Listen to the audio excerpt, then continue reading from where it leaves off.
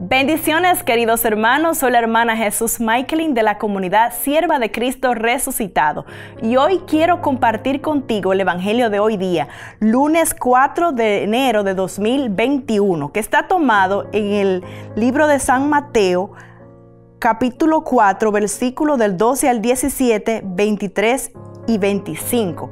Y desde tu casita puedes leerlo para que así podamos indagar en algunos puntos.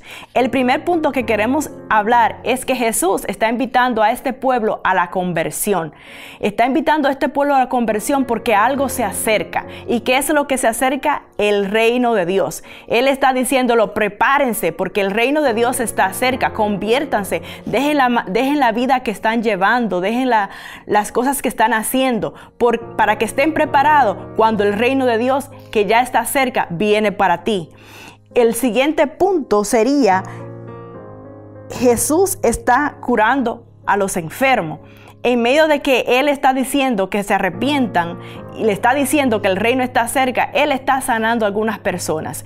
Él está en medio de ellos. Es Él el que se mueve para ver la necesidad que tú tienes. Es Él el que está escuchando cómo el corazón de cada persona está gimiendo. Él es el que está viendo la dolencia que hay en cada corazón.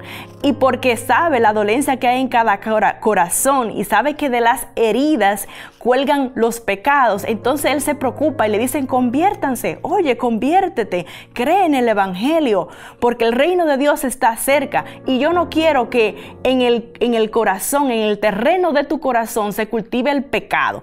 ¿Cuál es la situación que estás tú viviendo en el día de hoy que necesita cambiar? En este, en este nuevo año a lo mejor tenemos muchas situaciones difíciles. Hemos pasado tal vez momentos tan difíciles que tal vez no pensemos ni siquiera en esperanza. Pero Dios está diciéndonos, oye, el reino de Dios está cerca, hay esperanza.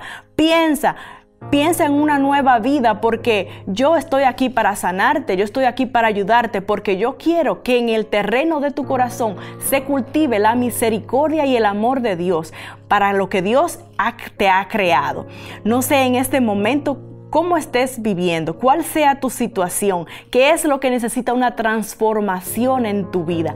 Pero recuerda que Dios está de tu lado. Está de tu lado en el momento que estás gimiendo, está de tu lado en el momento que te sientes desesperado, si ha perdido algún familiar, si estás triste, si te sientes solo. Dios está ahí y está ahí para ayudarnos, para ayudarte a ti, a tu familia a salir adelante.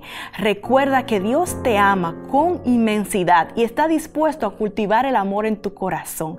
Dios te bendiga. Si te gustó este evangelio, no te olvides de compartirlo.